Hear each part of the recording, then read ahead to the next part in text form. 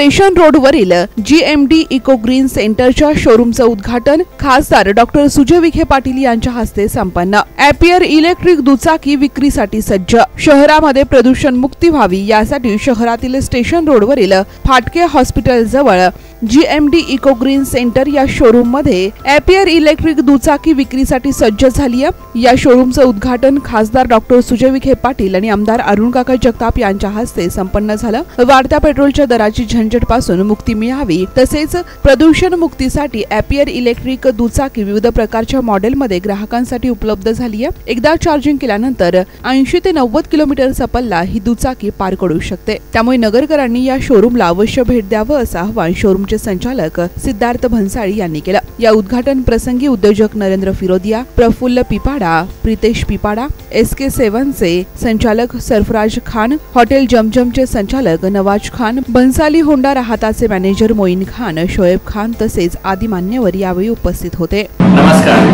आज सात सप्टेंबर दोन हजार बावीस रोजी आमची जे एम डी इकोग्रीन सेंटर या फर्मची Ampere grips two wheeler electric व्हेकलची डीलरशिपची ओपनिंग झालेली आहे. ही ओपनिंग खासदार साहेब सुजयदादा विखे पाटील आणि आमदार अरुण काका जगताप यांच्या हस्ते आम्ही केली. आज हे परिसर जे स्टेशन रोड बस स्टँड आहे तर ह्या ठिकाणी ही वास्तू आम्ही उभारली आहे.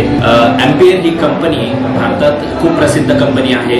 आज यांनी खूप साऱ्या गाड्या विकल्या आहेत. ही company total two wheeler electric गाड्या बनवते. आणि या कंपनीचे जी प्रोडक्ट रेंज आहे ती प्रत्येक ग्राहकाला आवडेल अशी प्रॉडक्ट रेंज आहे.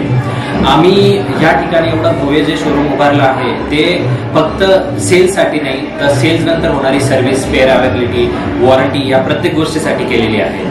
तर तुम्ही सगळ्यांनी अवश्य भेट द्या आणि नक्की या प्रॉडक्टला एकदा बघून चालून टेस्ट राईड घ्या. तुम्हाला कळेल का सगळ्या इलेक्ट्रिक टू व्हीलर शोरूमपेक्षा हे शोरूम किती सुंदर आहे आणि आम्ही ग्राहकाला किती तत्पर सेवा देण्यासाठी उत्सुक आहे धन्यवाद. प्रतिनिधी Nilesh Agarkar news today twenty four Ahmednagar.